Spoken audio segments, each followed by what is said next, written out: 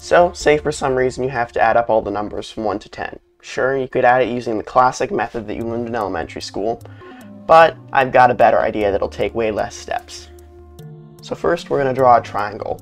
We're going to start with one dot, and then on this for the second row of our triangle, we're going to put two dots, and then three, and then four, and then so on, and we're going to do 10 rows in total.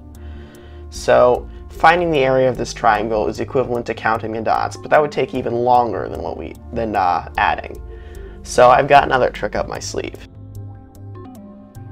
So now that we've done that, we're just going to attach a copy of the same triangle to the diagonal edge of that, and that'll give us a rectangle. So we're going to find the area of that rectangle. So there's 1, 2, 3, 4, 5, 6, 7, 8, 9, 10 dots on the horizontal side, and 1, 2, 3, 4, 5, 6, 7, 8, 9, 10, 11 dots on the vertical side.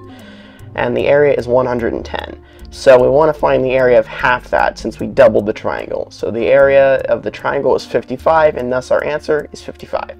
So from this, you can see the general formula for the sum of the numbers from 1 to n is equal to n times n plus 1 all over 2. Legend has it that the famous mathematician Carl Friedrich Gauss, sorry that I butchered that, discovered this while he was in first grade when his teacher gave him the assignment to add the numbers from 1 to 100 as busy work, and he realized this and was the first one to turn it in, because all of his other classmates had to do it too.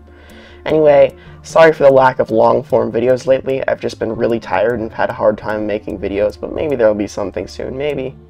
Anyway, thanks for watching and have a good night. Oh yeah, and I know this video kind of looks like Vihart, but my drawing tablet just refused to cooperate, so I had to do it on paper. Sorry.